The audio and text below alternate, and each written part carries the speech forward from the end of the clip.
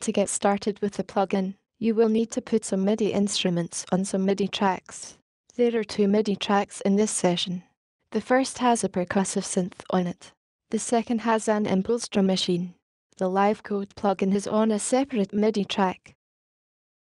This tutorial is a quick look at two very basic functions, play and stop.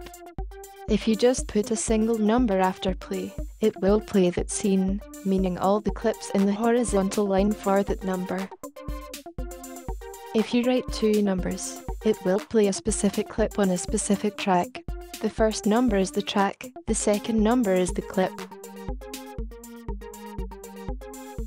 If you give the stop function a single number, it will stop all the clips on that specific track.